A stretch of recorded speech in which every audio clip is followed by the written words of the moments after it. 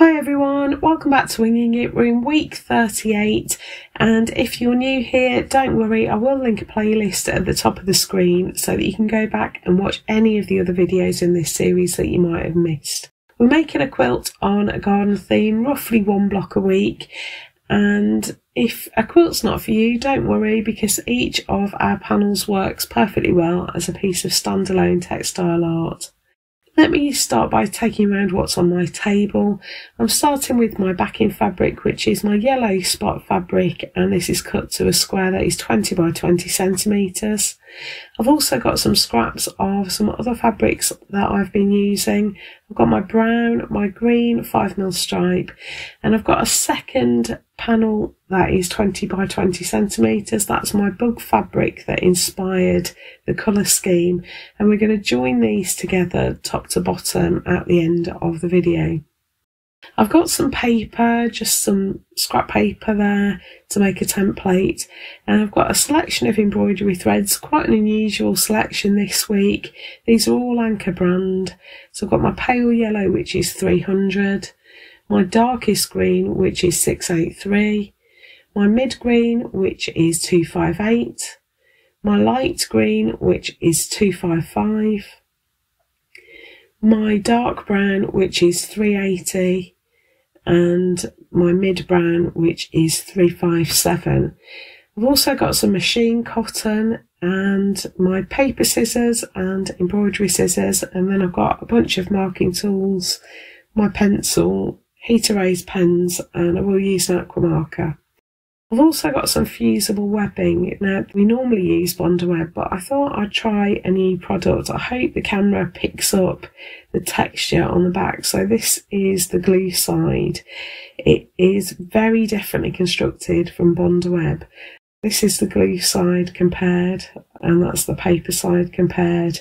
And you can already see this new one is much more opaque than Bondaweb. Uh, the paper's much thicker, the glue seam's much thicker. This is a hemline product called Heat and Seal. It's actually quite a lot less expensive, and I wondered how well it would hold up compared to Bondaweb. You've seen in lots of videos where the paper backing on the Bondaweb comes away from the glue mesh and this one does feel more robust. You get a much bigger piece for your money. So this is 17 inches by 43.3 or 43 centimetres by 1.1 metres. So you get a, a massive piece. I will try and find it online and put a link in the description below.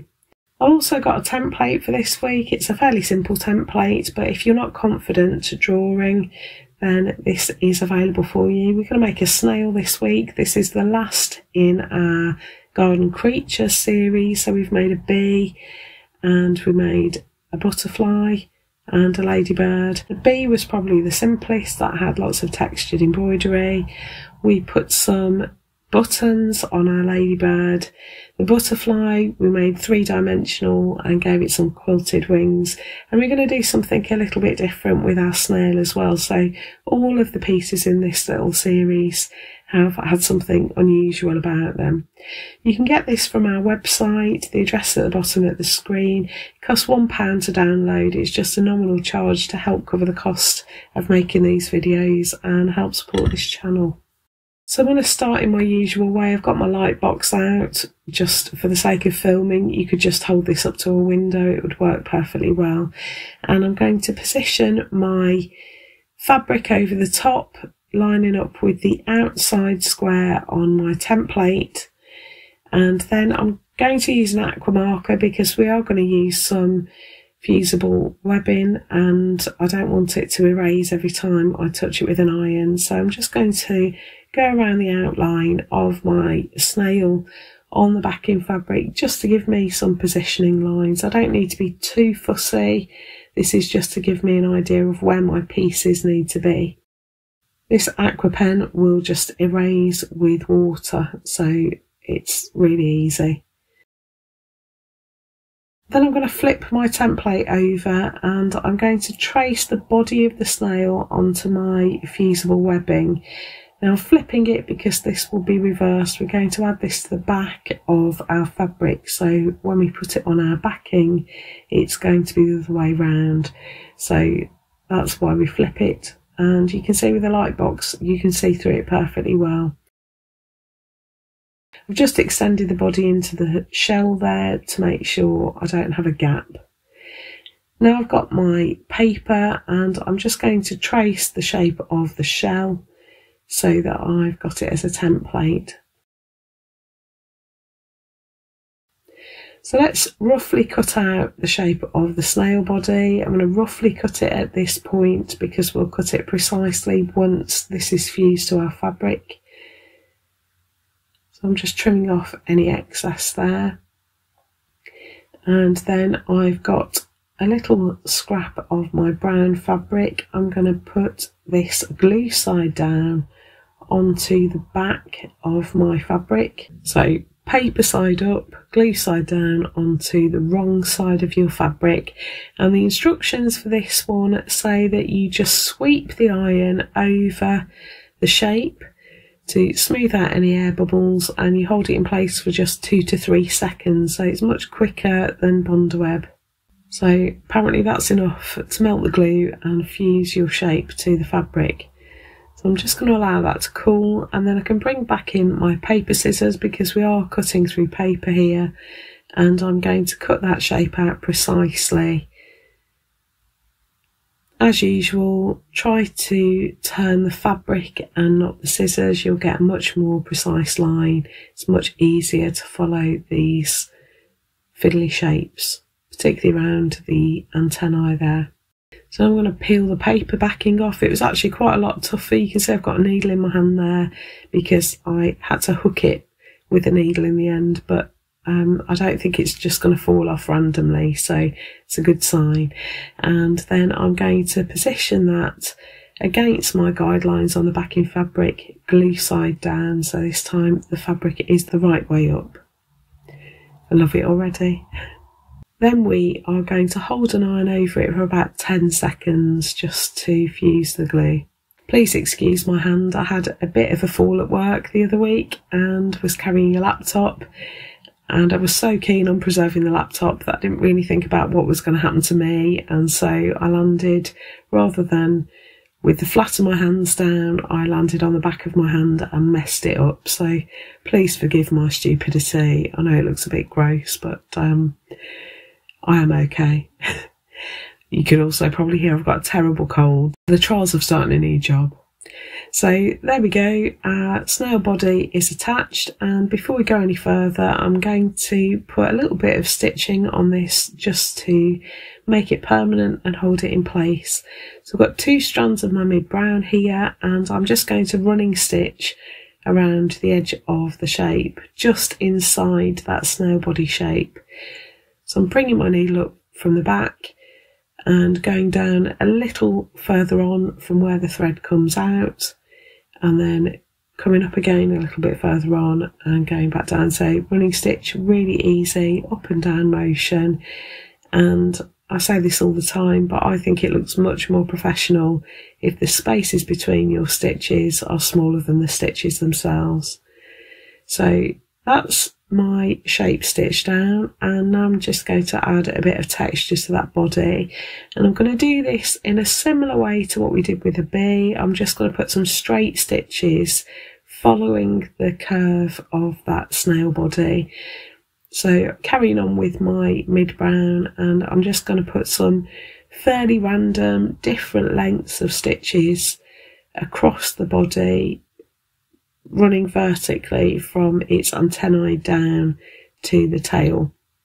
So I'll make them sort of curve as they go down and I'm going to do this with three different colours, so my mid brown, my dark brown and my darkest green as well. You can stitch up the antennae, I haven't, it does seem like a really good bond, this one, but I thought that if they do come loose, they will just look a little bit three dimensional, so I'm not going to fuss too much about it. So I've done my mid brown, I'm going to put some dark brown in there, I'm going to focus this on the bottom side, the lower side of the body. So you can see me just almost running stitching, but I'm not being careful at all about whether the stitches are even. I just want to add a little bit of shade, I suppose, to the bottom of the body. And then finally, I've got two strands of dark green, and I'm going to focus this on the upper side of the body. And once I put in my dark green straight stitches, I'm just going to add in my snail trail in that dark green as well. So this is the same colour thread that we've used for all of the flight paths and crawl trails for our little creatures that we've made. And I'm just running stitching down into the seam allowance at the bottom of the block so that I can make this look like it's continuing. You could wait until the end to do this when our blocks are together, but I just had some green left in my needle, so I thought I'd do it. And that's our snail body with the straight stitches. Just going to add a little bit more texture. I've got two strands of my light yellow here, and I'm just going to add some very tiny French knots. So you can see me just wrapping once there to add a little bit more sort of mottled texture to the snail's body. So to make a French knot, I'm going to bring my needle up, keep that thread taut, wrap the thread over the top of the needle and take down the needle just slightly away from where it came up, holding on to the thread so that it stays taut right up until the last minute. So rest the needle on the thread, wrap over the top once, take the needle back down through the fabric, catching a couple of threads of the backing fabric and pull through.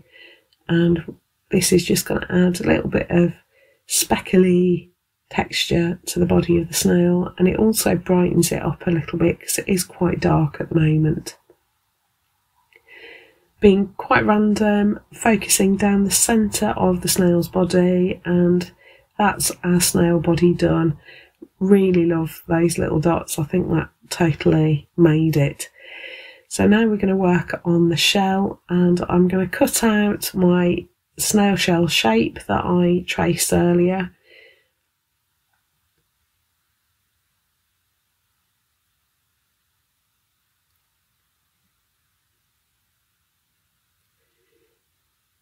So that's going to sit just onto the snail's body there.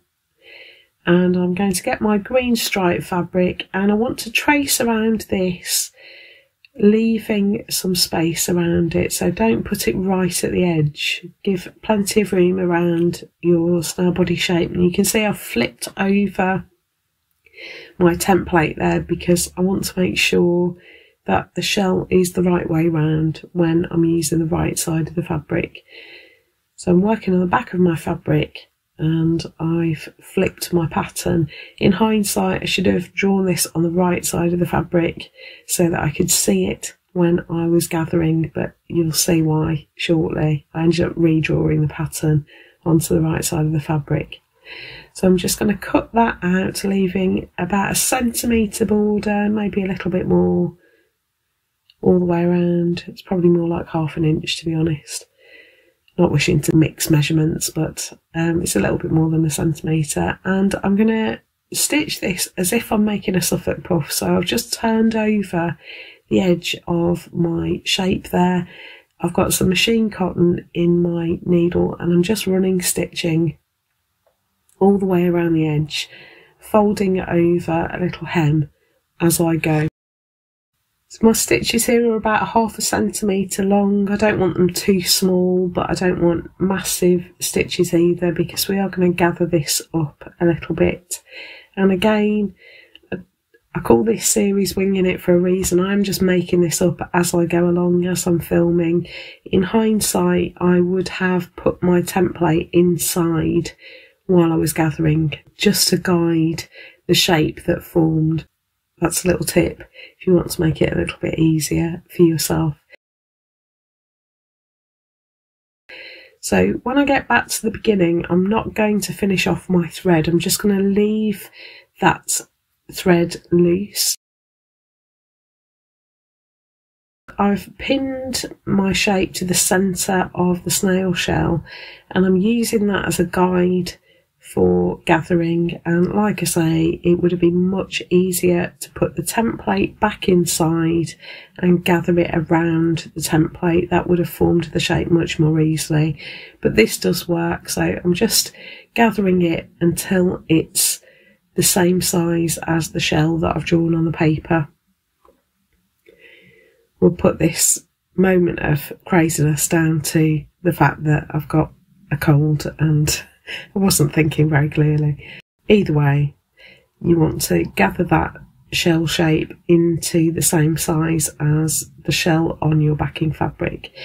I've finished off my machine cotton now in a knot and trimmed it and I've unpinned it and now I'm just evening out those gathers so that I don't have them all in one place.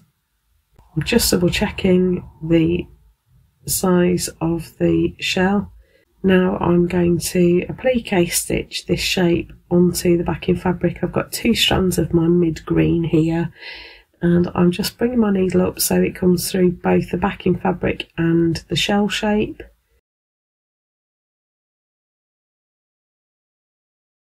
Just making sure I'm working on the line and then I take my needle back down just through the backing fabric but I'm tucking my needle right up against the shape of the shell just so that these stitches are kind of invisible. They are going to be sort of underneath, so you're not going to see them very clearly.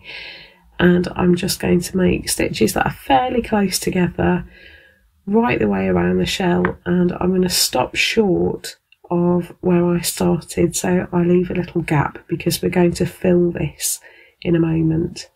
Don't leave too much space between your stitches because you don't want any holes for any filling to escape.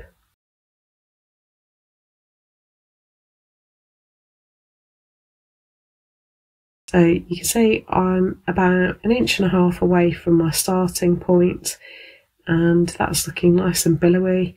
We're going to stuff that now. So you can use offcuts of fabric from your quilt. We have been keeping all of our offcuts. It's a great way of filling things. I've just got a little bit of stuffing handy. You can also use bits of felt, old pillows if you wash them at 60 degrees or antibacterial wash them. The filling of old pillows works an absolute treat for stuffing. You never need to buy stuffing. Everybody's got old pillows kicking around. I don't want it to be rock hard, so I want some give on this because we are going to stitch it once you are happy with how full it is, you can carry on stitching down your shell to close the gap. And I do tend to stitch it up a little bit, see how much give is still left and add more stuffing if I need to.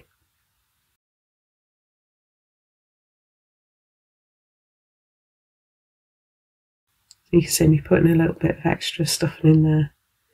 So once I'm done, I am going to re-sketch the swirl of the snail shell. Again, if I'd drawn my shape on the front of my fabric, I wouldn't have had to do this, but um, there we go. I've got two strands of my dark green here, and I'm going to backstitch along that line. And because there's quite a gap between where your needle's coming through the back of the fabric and where it comes out at the front.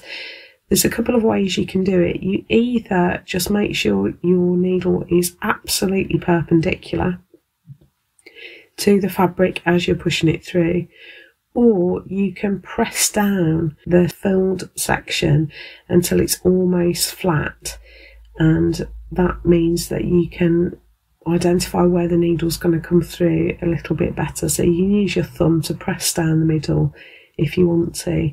I just made sure my needle was totally perpendicular and that meant that I could get quite a neat line of back stitch.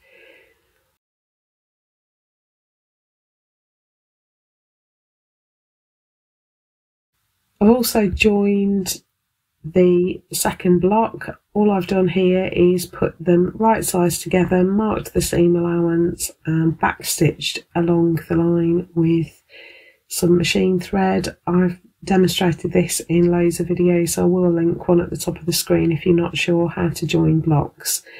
And I've sketched in a little crawl trail and I'm just going to go along that with two strands of my dark green thread.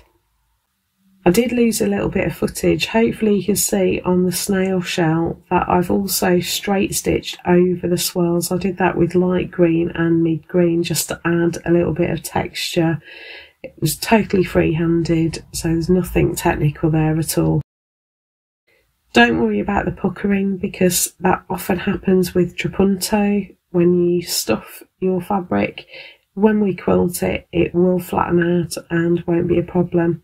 So that's our finished block for this week. I hope you've enjoyed that. Do share your creations at hashtag FSH23quilt. Be great to see your versions of our little snail. If you've enjoyed this and want something similar, I'll put some videos over here. And if you are enjoying our content and want to see more of our videos, just click on our logo down here. It makes it really easy for you to subscribe. Have a great week making your little snail and I will see you in the next video. Thanks so much for watching. See you next time. Bye.